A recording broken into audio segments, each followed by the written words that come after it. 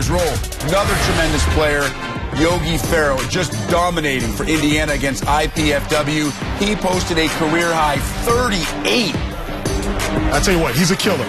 He can really put it on, and I love the fact that he's trying to do it on both ends now. Most points by any Hoosier since Bracey Wright in 03. Troy Williams not pictured, 15 points, 19 boards, 90-65.